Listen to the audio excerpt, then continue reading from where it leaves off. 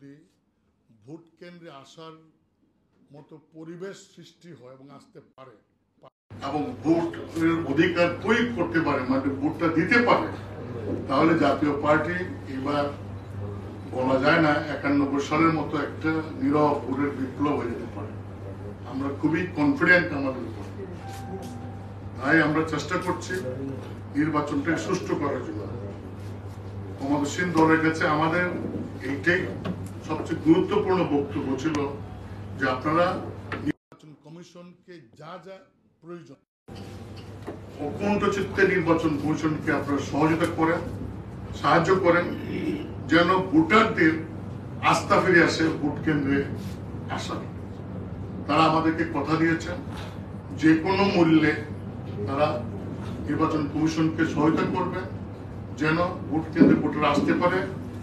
আইন শৃঙ্খলা বাহিনী যাতে নিরপেক্ষভাবে কাজ করতে পারে, প্রশাসন যাতে নিরপেক্ষভাবে কাজ করতে পারে, যাতে কোনো কারণে স্থানীয়ভাবে ক্ষমতাসীন দলের যারা প্রার্থী, তারা আমাদের কোনো লোককে যাতে হ্যারাস না করতে পারে, ভয় ভীতি যাতে না দেখাতে দেখাতে পারে, এই সমস্ত বিষয়গুলি তারা ব্যবস্থা নেওয়ার জন্য আমাদেরকে আশ্বাস দিয়েছেন। তাদের আশ্বাসে আমরা মোটামুটি ভাবে আশ্বস্ত হয়েছে, বিশ্বাস করেছি। বাকি আগামী দিনগুলিতে কি হবে সেটার অপেক্ষায় আমরা নিশ্চয়ই থাকব এবং নির্বাচনের কর্মকাণ্ড করে যাব। আমরা বিশ্বাস করি এইবারে নির্বাচন জাতীয় পার্টির সাথে আওয়ামী লীগের প্রতিদ্বন্দ্বিতামূলক নির্বাচন হবে এবং এটাও বিশ্বাস করি, যেহেতু জাতীয় পার্টির বড় দল নির্বাচনে আসছে, প্রায় প্রত্যেক আসনে প্রার্থী দিয়েছে, তাই নির্বাচনটা অবশ্যই প্রতিযোগিতামূলক অংশগ্রহণমূলক এবং নিরপেক্ষ একটি নির্বাচন, শান্তিপূর্ণ নির্বাচন হবে। এই আশা করে আমরা এখনও নির্বাচনের মাঠে আছি এবং থাকি এই আমার বক্তব্য। আপনাদের জন্য কথা থাকে, আপনারা জিজ্ঞাসা করতে পারেন, একজনের পর একজন। এবং আমার সাথে আমার সহকর্মী আছেন, তারাও যদি কিছু বলতে চান, বলতে পারেন। আমার একটা প্রশ্ন আছে এই যে আলোচনা এটা তো আলোচনা এটা খুব এবং উন্মুক্ত হওয়ার মতো। তাহলে এত কেন? এত কারণে কিন্তু সন্দেহ এবং বাড়ে। হলো এই কারণে যে আলোচনা করার আগে আজকে পত্রিকা দেখলাম, আপনাদের এই কলি কেউ লিখেছেন যে আমাদের সাথে আসন বন্টন হয়েছে চল্লিশটা চেয়েছি। কেউ বলেছেন পঁয়ত্রিশটা, কেউ বলেছেন যে একশোটা। এই যে কথাগুলি, এইগুলি যাতে না হয়, বিভ্রান্তিমূলক কথা যাতে না আসে সেই জন্য আমরা মিটিংটা একটু মানে প্লেসটা সময়টা গোপন করেছি। কারণ না করলে আপনাদের কলিগরা এই ধরনের আরও অনেক নিউজ দিতে পারতেন। যে নিউজগুলি আসছে আজকেও আদৌ এগুলির কোনো ভিত্তি আছে বলে আমি মনে করি না। বিশেষ করে আসনের বিষয়ে। আমি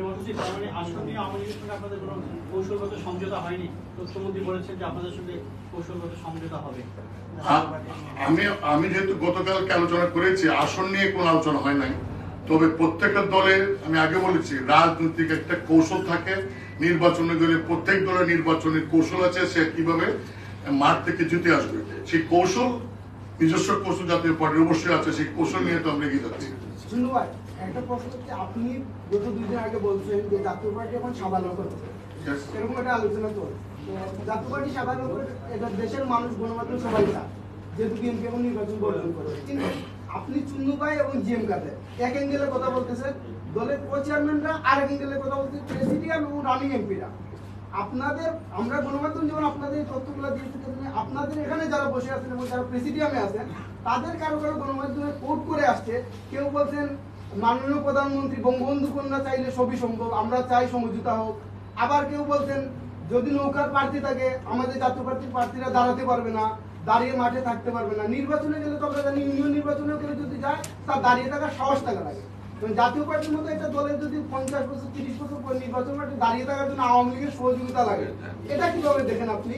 এবং আপনাদের দলের চেয়ারম্যান, মহাসচিব এক একজনের কথা বলতে কো চেয়ারম্যান আরেক গেলে এবং প্রেসিডেন্ট আরেকজন গেলে এটা কীভাবে দেখেন? আরেকটা প্রশ্ন হচ্ছে, আপনাদের চেয়ারম্যান জিএম কাদের?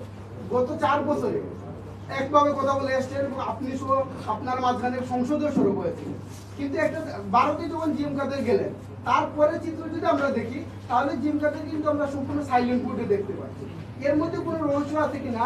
এবং অনেকেই বলে দেন, ভারত থেকে আপনারা কোনো সিগন্যাল পেয়ে নির্বাচনে আসছেন কিনা? কারণ এর আগে আপনারা কিন্তু বলছেন এবং নির্বাচনে আপনারা এখনও কিন্তু স্পষ্ট না, আপনারা নির্বাচনে যাচ্ছেন নাকি যাচ্ছেন?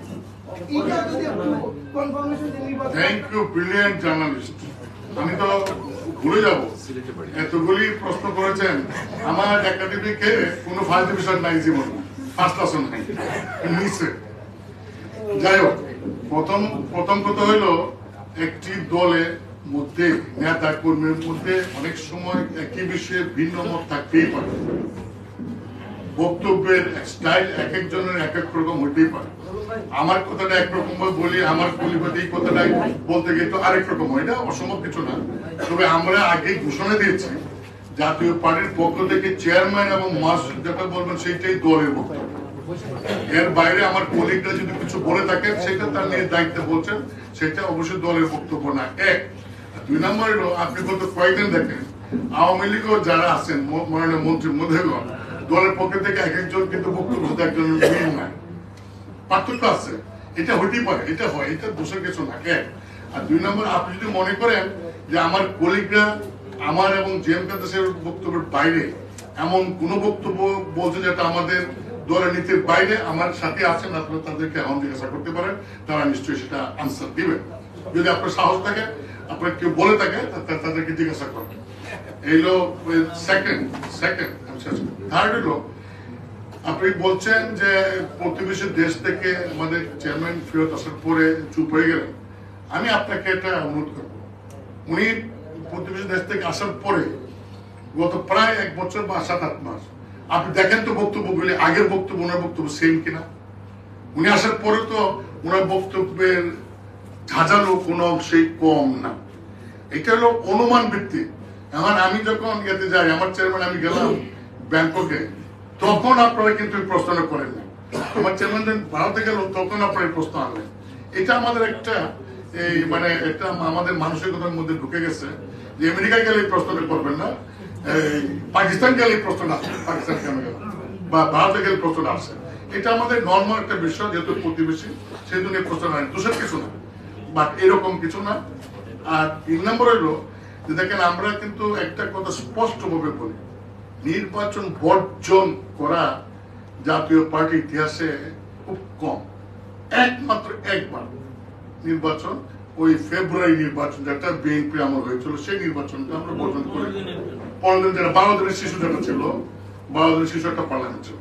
সেইটা জাতীয় পার্টি বর্জন করেছিল। এছাড়া জাতীয় পার্টি কোন নির্বাচন বর্জন করে নাই। কারণ আমরা একটা বুঝি যে এই বর্তমান পদ্ধতিতে যদি গণতন্ত্রকে ধারাকে অব্যাহত রাখতে হয়, তাহলে নির্বাচন মাস্ট তবে হ্যাঁ সেই নির্বাচন যদি একবারে একান্তই এমন হয় যে এটা করাই যাবে না, সেটা ভিন্ন প্রশ্ন। এবং সেই জন্য আমরা কিন্তু খুব উদ্বিগ্ন ছিলাম, এখনও আছি যে নির্বাচন নিয়ে ভোটার আশায় কারণ ভোটারদের আস্থাটা কিন্তু কমে গেছে কেন্দ্রে আসতে চায় না। বারবারই কথাটা বলছি, নির্বাচনে ভোটার যদি আসে, তাহলে আমাদের কারও দিকে ইনশাল্লাহ জাতীয় পার্টি তাকাতে হবে না। আমি জানি এখানে আপনাদের আসলে অনেকে যদি ভোট দেওয়ার সুযোগ পান, আমার মনে হয় না আওয়ামী লীগকে রেখে আমাদেরকে ভোট দিবেন। অনেকে আছেন। এটা অনেকের মানুষের মনের ইচ্ছাটা আছে।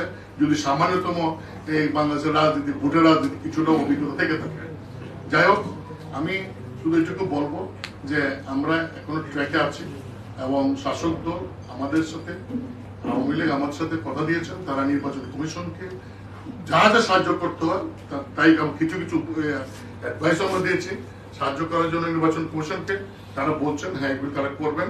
যদি করে নির্বাচনটা ভালো পরিস্থিতি যদি হয় তো অফকোর্স নির্বাচনে জাতীয় পার্টি ভালো করবে। আপনি বলেছেন যে একানব্বই মতো নীরব বিপ্লব হতে পারে। নীরব বিপ্লবটা একটু যদি ব্যাখ্যা দিতেন কীরকম? হ্যাঁ নীরব বিপ্লব আপনারা জানেন যে নব্বই ছয় ডিসেম্বর আমাদের তখনকার মহামান রাষ্ট্রপতি এবং জাতীয় পার্টির প্রতিষ্ঠা চেয়ারম্যান হুসেন মোহাম্মদ এরশাদ বাংলাদেশের তিন জোট আপনি জানেন আওয়ামী লীগ একটি জোট বিএনপি একটি জোট এবং বাম জোট। তিন জোট তারা আন্দোলন ছিল এবং বলেছিল যে যদি পদত্যাগ করেন, তাহলে আমলের চেয়ে আরও ভালো সুশাসন তারা দিবেন। যেই ক্ষমতা এবং দুর্নীতি দূর করবেন, টাকা পাচার বন্ধ করবেন, গণতান্ত্রিক প্রতিষ্ঠানগুলিকে শক্তিশালী করবেন। নির্বাচন দেখা গেল যে নির্বাচন হওয়ার পর এগুলির আর কোনো খবর নাই। এক, দুই নম্বর হলো ওই সময় কিন্তু সাংগঠনিকভাবে আওয়ামী লীগের খুব শক্ত অবস্থান ছিল। মাননীয় প্রধানমন্ত্রী শেখ হাসিনা একাশি সালে ভারত থেকে আসার পর তিনি দলের হাত ধরে এমন একটা অবস্থা করেছেন যে খুবই শক্তিশালী সংগঠন ছিল আওয়ামী লীগ। সেই তুলনায় বিএনপি অত্যন্ত দুর্বল সংগঠন ছিল এবং আমার দেখার মধ্যে শুধুমাত্র তাদের ছাত্র সংগঠনটাই শক্তিশালী ছিল। মূল দল মোটেও শক্তিশালী ছিল না। এবং ওই সময় আপনাদের যদি আমার বসে কেউ থেকে থাকেন, তাহলে জানেন যে ওই সময় আওয়ামী লীগ একদম মানে কনফার্ম ক্ষমতা যাবে এবং তারা কে কি হবে সেটাও কিন্তু মনে মনে ঠিক করে ফেলছিল। বিএনপি ক্ষমতা যাবে এটা আমরাও মনে করি না আমরাও মনে করেছিলাম যে আওয়ামী লীগ ক্ষমতা যাবে। কিন্তু দেখা গেল যে যে দলটা তিনশো আসনে, এমনকি তিনশো আসনে মনোনয়ন দেওয়ার মতো উপযুক্ত লোক ছিল না। অনেক আমলা, অনেক বুদ্ধিজীবী লোক যারা পুলিশ করেন তাদেরকে কিন্তু বিএনপি তখন মনোনয়ন দিয়েছিল। নির্বাচনের পর বিএনপি গভর্নমেন্ট ফর্ম করবে। এটি বললাম যে কারণটা হলো ভোটের বিচারে আমরা দেখছি বিশ্লেষণে এই দেশে আওয়ামী লীগের যে ভোট চেয়ে আওয়ামী লীগ বিপক্ষের ভোট অনেক বেশি। এটা অনেক এক্সাম্পল যদি বলে আমি আমার নিজের দেখতে বলতে পারি, আমি নিজে উনিশশো ছিয়ানব্বই সালে ভোট পাই একপঞ্চাশ হাজার। আওয়ামী লীগ পাশ করে বান্ন হাজার পায়। বিএনপি পায় উনত্রিশ হাজার। আবার দুই হাজার এক সালে আমি লাঙ্গলে পাই সাড়ে বাষট্টি হাজার আওয়ামী লীগ পায় বাষট্টি হাজার বিএনপি পায় তেষট্টি হাজার। তার মানে আওয়ামী লীগের চেয়ে এনটি আওয়ামী লীগ ভোট অনেক বেশি। এই জন্য বললাম যদি নির্বাচনটা এবার ভোটার আসতে পারে তো এবার একটা নীরবে ভোট হয়ে যেতে পারে। মানে মনে হচ্ছে